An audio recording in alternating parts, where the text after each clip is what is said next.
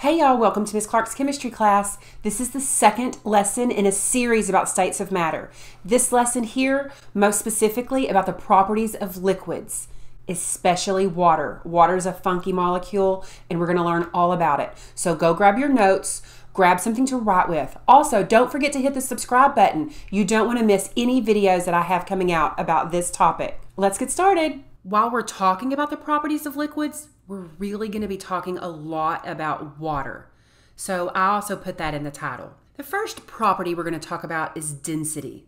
Normally, liquids are less dense than their solid counterpart, except water. That's what makes water so special. Water, let's look at these molecules. This is water. This is ice. When it's water, they're just all kind of jumbled up. Now they're being held on to each other with hydrogen bonds, those intramolecular forces, but they're all kind of a big, just called jumbled. When you freeze them and make ice, it makes this very geometric shape. And you see these blank spaces in between? They fill with air. And when they fill with air, it causes ice to be less dense. Let's think about that for a second. Let's think about the world and the oceans and the glaciers.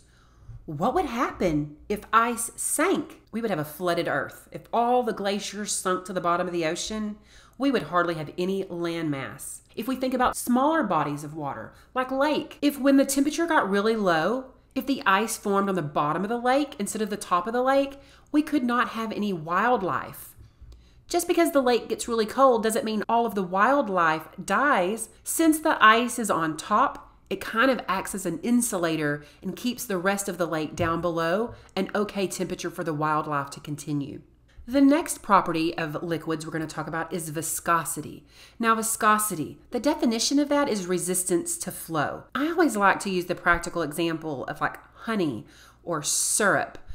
If you think about turning the honey over, we're going to pour some honey out onto our biscuit. And honey, it pours very slowly that's because it's viscous. Or if we're just going to pour out water, water pours out much more quickly. If you know anything about motor oil, you know they come in different weights. We've got our test tubes and they're filled with motor oil. One is at 5 weight, one is at 10 weight, 20 weight, and 30 weight. And if we dropped a marble down into this motor oil, the five weight oil is going to be the thinnest. It's going to be the least viscous. We drop that marble in and it's just going to go straight to the bottom. Now our 10 weight motor oil, it's a little bit more viscous or it's a little bit thicker. If we were to drop that marble in, it might hover somewhere near the bottom, but not all the way to the bottom because it's a higher viscosity. 10 weight that marble is going to hover even higher because, again, the motor oil is more viscous, or you could think about it being thicker. 30 weight, that marble might just sit right close to the top. Viscosity decreases as the temperature increases. Let's go back and think about our honey. We're trying to pour our honey out of the container and it is so slow, it's taking forever. If we plop that thing into the microwave, heat it up for a few seconds, and then pour it, it practically runs out like water. So viscosity is going to decrease as the temperature increases. Okay, so our next property of liquids we're going to talk about is surface tension. Now, surface tension can get pretty complex, and I tried to break it down as easy as I could to make it the most understandable. But surface tension is an effect that strengthens the surface of a liquid, surface tension. So, the reason why the surface is strengthened is because the molecules attract each other all around. But the molecules at the surface, at the top, they're going to only have molecules to attract on either side and below. I'm going to explain this a little bit better in just a second. Just remember that the molecules attract each other all around equally, but the molecules on the surface have a net inward force, creating what we would call like a skin. Have you ever noticed if you jump into a swimming pool let's say you belly flop into a swimming pool, but you just do it from the side, of course it hurts. All belly flops hurt. But let's say you go up to the high dive and you belly flop. That is going to be terrible. It might even knock the breath out of you.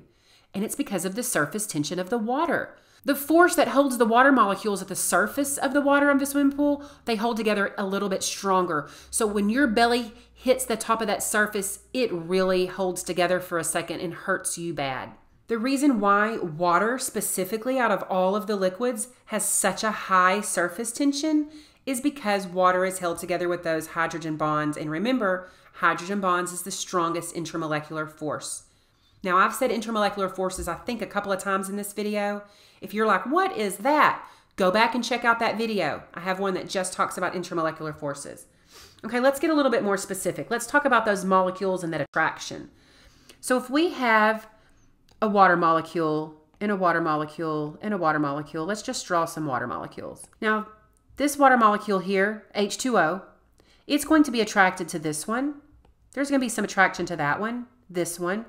There's probably some down below, here, here. Let's draw that one down below. This water molecule here has an equal force to all of the water molecules all around it. And so do all of these central water molecules. But let's say up here at the top, these water molecules, you know, they're attracted this way, they're attracted this way, but they're like doubly attracted here. So since there's no other water molecules up top for them to be attracted to, it's almost like they double down. They double down their attraction here and they really pull into themselves. Let's think about an overall pull. This water molecule here, it's equal all around. But these water molecules, the overall pull inward, an inward pull. There's nothing over here to negate the pull. And that's what's going to give water, especially, but all liquids, kind of like a skin effect.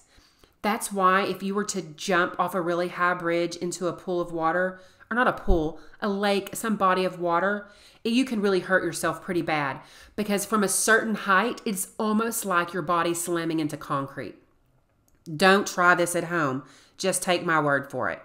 Surface tension. Again, surface tension of water is so great because all of these intermolecular forces or these arrows that I'm drawing would represent hydrogen bonds Okay, let's talk about cohesion and adhesion. That prefix co, cohesion, molecules are attracted to each other. So, especially water molecules, but any liquids, but especially water molecules, they're sticky to each other. This makes me think of when you're driving in the rain. Now, maybe I'm the only crazy lunatic that does this, but when I'm the passenger, not the driver, I notice how when the rain droplets are running down the windshield, if a rain droplet gets too close to another rain droplet, they almost suck together like a magnet. I kind of think it's fun to watch. I know, I'm a little nerdy. You know, you're thinking you've noticed this same thing. Or if you have two water molecules and you can kind of draw them near to each other, and then all of a sudden they'll stick together and make a big water molecule. That's cohesion. They're sticky for each other. Adhesion, they're attracted to other surfaces. Now, a good example of showing adhesion and cohesion at work is when we're thinking about a graduated cylinder. I'm not going to draw the little lines. If you've been in science for very long, we know that when you have water in a graduated cylinder, it makes this meniscus. Okay? Well, the reason why water travels up the side and forms this little meniscus up here is because of adhesion. The water molecules are sticky for the glass container, so they kind of travel up the side. But also here, the water molecules are representing cohesion. They're sticky for each other. Okay, so adhesion, hesion, that makes us think of a glue. Cohesion, they're sticky to each other. Adhesion, they're sticky to a different substance. I've also seen this graduated cylinder drawn where you've got like these happy water molecules, and this water molecule might be holding on to the surface. And he's smiling because he's happy.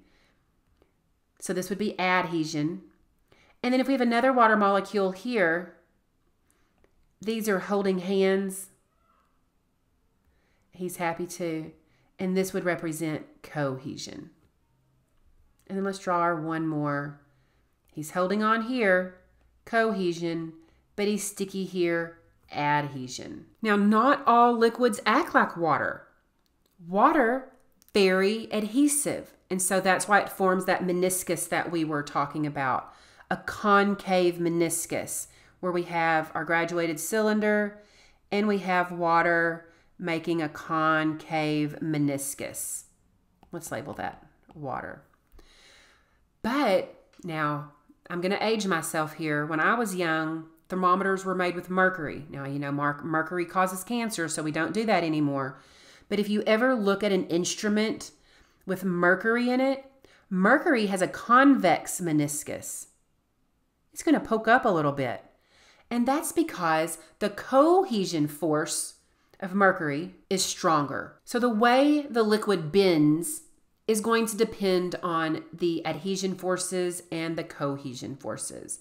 So we have this convex meniscus because the adhesion force is stronger than the cohesion force. So it's grabbing on here stronger. But in mercury, the cohesion force is the strongest. So that's why you're going to get this bubble in the middle. It's kind of crazy, I know. Wetting. Now, this has everything to do with surface tension, which also has everything to do with the intermolecular forces, the hydrogen bonds. So, when you have a liquid like water who that has very high surface tension and very high intermolecular forces, and it makes a bubble, not much of this surface of the liquid is touching the surface of this board. When the surfaces don't touch very much, like here, it is not a very good wetting liquid. If we have a liquid with less surface tension, that bubble is going to spread out a little bit and touch more of the surface. That means it's better at wetting.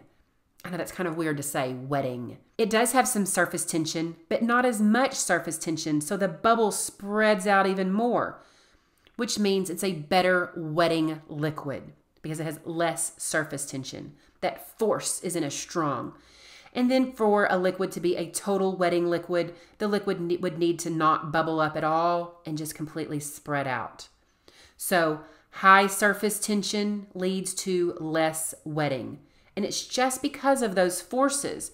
Remember, high surface tension, those forces are being attracted all inward. That's what's drawing this up into a bubble. So high surface tension, less wetting. Lower surface tension, like here, would equal more wetting. Now, there is a way to make a liquid that isn't very wetting a little more wetting. I know that feels so weird to say, right? I know it must feel weird to listen to. A wetting agent is a substance that lowers surface tension. And if you can lower the surface tension, that bubble is going to flatten out a little bit and wet the surface better. The way the substance lowers the surface tension is by disrupting the intermolecular forces. All the molecules are holding hands to each other and they're holding on to each other very, very tightly. But if you add something to that liquid and it causes them to not hold on to each other so tight, that bubble is going to relax a little bit and wet the surface better. Detergents are good wetting agents. This is why when we wash our clothes, we have to put some soap in there with it. If we just washed them in water, Water is not a very good wetting agent because it has such a high surface tension due to those hydrogen bonds. But when we add soap to our water, it decreases the hydrogen bonds, decreases the surface tension, makes that water a better wetting agent. Then we can get in and clean all that stuff out. That's the whole purpose of our washing our clothes to begin with. Capillary action. This might be my last property of water. This is the rise of liquids up a narrow tube. This is why when you put your straw in a cup, let's say here's our liquid and we put a straw in, most of the time that liquid fills up to above the water line. That is called capillary action, and it's due to the adhesion and cohesion forces. Especially if this is a cup of water, this water is going to rise up. Since it's so adhesive, it's going to grab onto the side of the straw and climb up just a little bit farther than the actual level of the water. Now, that liquid will rise up into that narrow tube until the adhesive and cohesive forces equal the gravitational force. Because remember, gravity is pulling everything down, and gravity is even working on the liquid in the straw. This is how plants get their nutrients and water. If you think about a plant, and you know, here's its stem above the ground, and then we've got the ground, and then it's got all of these roots. Roots are very narrow tubes, and we need the water to be able to travel up and into the stem and out to the leaves. Capillary action. Very, very, very important for keeping our plant life alive and well. Okay, so that is everything that you need to know about the properties of liquids, especially the properties of water. Don't forget, stay tuned for the next video. It's going to be about intermolecular forces. Until next time, bye y'all.